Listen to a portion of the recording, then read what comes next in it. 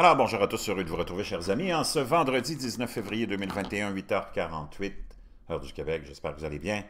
On est en pleine, pleine course folle et freinée hein, pour la conquête de l'espace, la Lune, Mars et plus loin encore. On a les Émirats arabes unis qui sont arrivés dans euh, l'orbite euh, de, Mars avant les Chinois, qui sont d'ailleurs maintenant là aussi, et euh, les Américains avec la NASA et leur euh, rover Perseverance, hier, ont atterri, eux, sur la Lune. Euh, sur Mars, pardon. Donc, il y a une immense, immense course folle. Euh, tout le monde veut aller vers l'espace.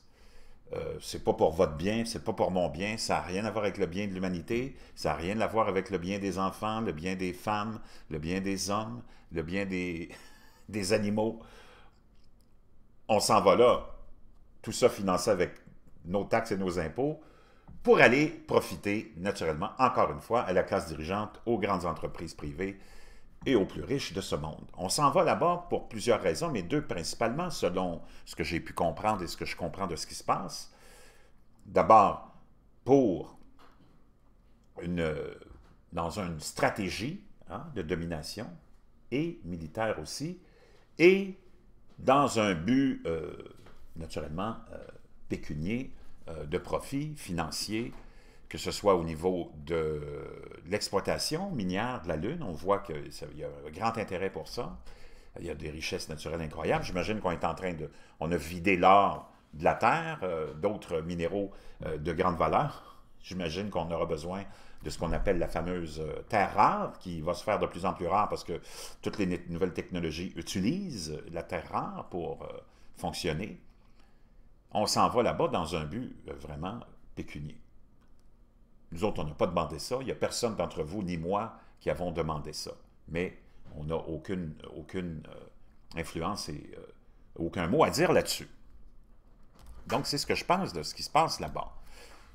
D'ailleurs, il y a, imaginez-vous, dans notre système solaire, un astéroïde qui vaut 700 milliards de dollars. 700 milliards de dollars. Wow! Et euh, on s'en va après ça. Hein. On s'en va après, naturellement, euh, vers une façon euh, qu'on aurait de ramener toute cette richesse sur Terre. Donc, ce fameux psyché qu'on appelle est ramené sur Terre. Tout le monde peut-il être milliardaire? Après tout, il y a environ 7,5 milliards d'humains sur Terre. La valeur théorique de l'astéroïde laisse à chacun des dizaines de milliards de dollars parce qu'il est estimé à 7, en anglais, là, comment on l'a estimé, à 700 millions de quintillions de dollars. OK? Je ne sais pas si vous le savez, mais c'est beaucoup d'argent. Ça, c'est un exemple. Mais euh, sur la Lune et Mars, entre autres, qui sont accessibles facilement, hein, euh, qu'est-ce qu'il y a comme euh, richesse? Sûrement? Plein d'autres minéraux, peut-être encore de plus grande valeur. Maintenant, au niveau stratégique militaire, ce n'est pas depuis hier qu'on en parle, Hein, l'utilisation militaire de la Lune et des astéroïdes. On remonte à 1983, le soir du 23 mars, nous raconte Wired. Je vous laisserai tous les liens, comme d'habitude, dans la boîte de description. Le président Ronald Reagan s'est adressé au peuple américain depuis le bureau ovale, citant des mesures agressives de la part de l'Union soviétique. Il a défendu les augmentations proposées des dépenses militaires américaines et l'introduction, vous vous rappelez, de son fameux euh, système de missiles et bombardiers, euh, ce qu'on appelait Star Wars à l'époque. Hein, euh, Ronald Reagan euh, avait convaincu les Américains que c'était important au niveau stratégique militaire d'aller installer des espèces de systèmes de défense qui pourraient euh, soit éliminer ou diriger des, dans d'autres directions des missiles lancés par les ennemis. C'est ainsi qu'est née l'initiative de défense stratégique SDI, peut-être mieux connue sous son surnom inspiré du cinéma, Star Wars. Cet article donc, euh, cette, idée-là n'est pas euh, nouvelle.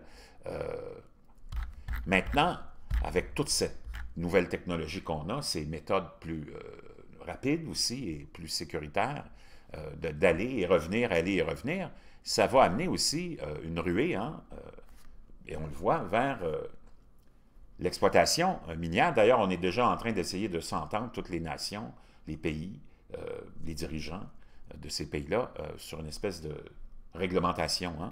La ruée vers l'art nous rapporte euh, Mining Technology, hein, euh, c'est du 6 juillet 2020, l'exploitation lunaire peut-elle jamais décoller. La Lune pourrait abriter plus de métaux qu'on ne le croyait auparavant sous sa surface, selon des recherches menées à l'aide de données de la NASA. Les nouvelles révélations sur la composition géologique de la Lune peuvent affecter les théories sur l'origine du corps céleste, mais la nouvelle piquera également l'intérêt des aspirants mineurs de la Lune. Le gouvernement américain a récemment lancé l'idée d'exploiter la Lune, mais que cela signifie euh, mais que, ce, que signifie ce nouveau développement pour une ruée vers l'or lunaire vous irez tout lire ça. Je vous laisse ça dans la boîte de description. On avait l'administration Trump qui voulait exploiter la Lune. Hein, en, avril 2020, le président Trump a signé un décret pour encourager les entreprises américaines à exploiter la Lune et d'autres corps célestes pour obtenir des ressources.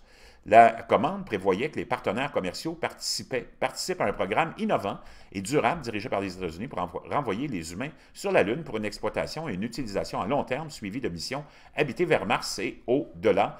L'expansion du secteur des ressources plus profondément dans l'espace, selon le document, exigerait que les entités commerciales récupèrent et utilisent les ressources dans l'espace extra-atmosphérique. Wow! Les États-Unis et le reste des nations spatiales du monde n'ont pas reconnu le traité de la Lune de 1979, un document qui stipulait que les nations ne mineraient pas les ressources de l'espace extra-atmosphérique.